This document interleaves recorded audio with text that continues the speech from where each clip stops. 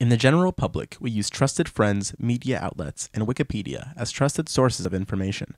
In academia, these aren't considered viable, and students, faculty, and other academic researchers head to journals and textbooks to gather, cite, and learn new information. Peer reviewed sources cost money to write, and academics must sometimes pay for access to them.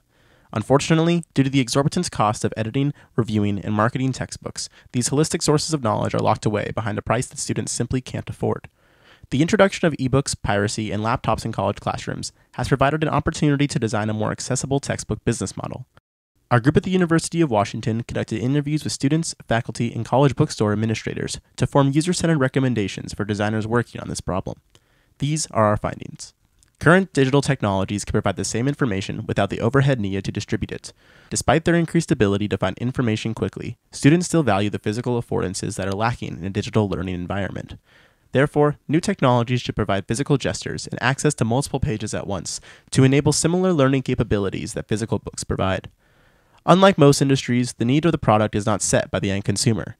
To make sure that publishers don't take advantage of this model, bookstores push back on the faculty and publishing industry to ensure that students are provided with the right information at a fair price. Therefore, designers of tomorrow's textbook model should work with the bookstore rather than directly with publishers to protect student interests while still maintaining access to information that currently only the publisher can provide. Finally, publishers should be provided with a method of ebook distribution that protects their intellectual property. This same method of distribution should also be available for students and faculty to upload their own work. This way, the end users of the information can explore and create alternatives to products of the textbook industry. The need for an all powerful textbook industry will be minimized as consumers of academic information verify knowledge together through independent peer review. Our recommendations seek to enable access to verified information and hopefully set it free from the costly overhead of today's textbook review process.